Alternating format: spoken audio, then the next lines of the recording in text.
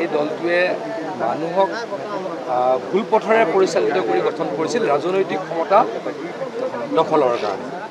সেইটোতো জুবিন গাৰ্গ ডাঙৰীয়াই কালি কৈছে। শব্দটোৰ তেওঁ যেনেকৈ কয় তেনেকেই কয় আৰু। মই সেই শব্দটোৰ ওপৰত ক'ব খোজা নাই।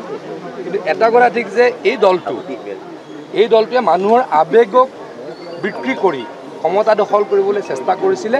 অতি বেয়াকৈ মুখ ঠেকেচা খালে ভৱিষ্যতেও মুখ ঠেকেচা খাব মই আকৌ কৈছোঁ জুবিন গাৰ্গ ডাঙৰীয়াক বেছি মোতকৈ ভালকৈ জানিব কাৰণ একেলগে আন্দোলন কৰিছিল। মইতো ইমান নাজানো। জুবিন গাৰ্গ ডাঙৰীয়াই ভালকৈ জানিব। কিন্তু মই আকৌ কৈছোঁ যে সেই শব্দটোত মই একো টিপ্পনী কৰিব খোজা নাই। কিন্তু এই দলটোৱে যে অসমৰ মানুহৰ আৱেগক লৈ ৰাজনীতি কৰিব খুজিছিল আৰু আৱেগক আৱেগৰ লগত হেতালি খেলি ক্ষমতা দখল কৰিব খুজিছিল এইটোতো সঁচা কথা। আৰু সেইকাৰণে ৰাইজে অতি সোনকালে বুজি পাই এই দলবিলাকক নাইকিয়া কৰি আৰু আমাকেই শাসনলৈকে আনিলে। এই দলটোৱে মানুহক ভুল পথেৰে পৰিচালিত কৰি গঠন কৰিছিল ৰাজনৈতিক ক্ষমতা দখলৰ কাৰণে। সেইটোতো জুবিন গাৰ্গ ডাঙৰীয়াই কালি কৈছে শব্দটোৰ তেওঁ যেনেকৈ কয় তেনেকেই কয় আৰু। মই সেই শব্দটোৰ ওপৰত ক'ব খোজা নাই কিন্তু এটা কথা ঠিক যে এই দলটো এই দলটোৱে মানুহৰ আৱেগক বিক্ৰী কৰি ক্ষমতা দখল কৰিবলৈ চেষ্টা কৰিছিলে অতি বেয়াকৈ মুখ ঠেকেচা খালে ভৱিষ্যতেও মুখ ঠেকেচা খাব মই আকৌ কৈছোঁ জুবিন গাৰ্গ ডাঙৰীয়াক বেছি মোতকৈ ভালকৈ জানিব কাৰণ একেলগে আন্দোলন কৰিছিল। মইতো ইমান নাজানো। জুবিন গাৰ্গ ডাঙৰীয়াই ভালকৈ জানিব।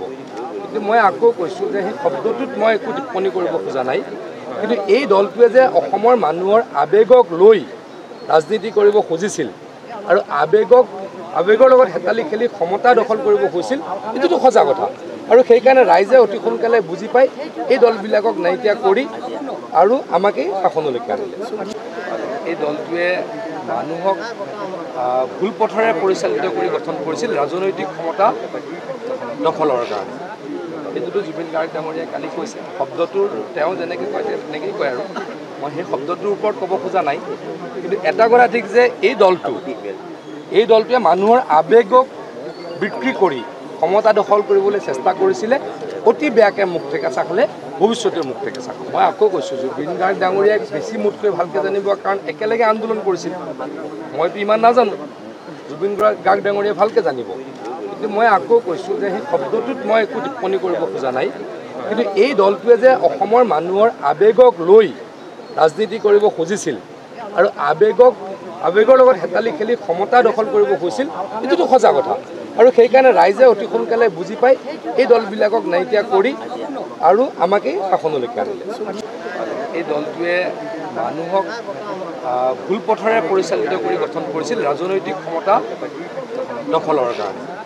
সেইটোতো জুবিন গাৰ্গ ডাঙৰীয়াই কালি কৈছে শব্দটোৰ তেওঁ যেনেকৈ কয় তেনেকেই কয় আৰু। মই সেই শব্দটোৰ ওপৰত ক'ব খোজা নাই। কিন্তু এটা কথা ঠিক যে এই দলটো এই দলটোৱে মানুহৰ আৱেগক বিক্ৰী কৰি ক্ষমতা দখল কৰিবলৈ চেষ্টা কৰিছিলে। অতি বেয়াকৈ মুখ ঠেকেচা খালে ভৱিষ্যতেও মুখ ঠেকেচা খাব মই আকৌ কৈছোঁ জুবিন গাৰ্গ ডাঙৰীয়াক বেছি মোতকৈ ভালকৈ জানিব কাৰণ একেলগে আন্দোলন কৰিছিল। মইতো ইমান নাজানো। জুবিন গাৰ্গ ডাঙৰীয়াই ভালকৈ জানিব। কিন্তু মই আকৌ কৈছোঁ যে সেই শব্দটোত মই একো টিপ্পনী কৰিব খোজা নাই।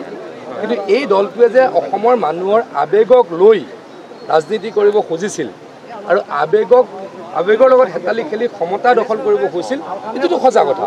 আৰু সেইকাৰণে ৰাইজে অতি সোনকালে বুজি পাই এই দলবিলাকক নাইকিয়া কৰি আৰু আমাকেই শাসনলৈকে আনিলে।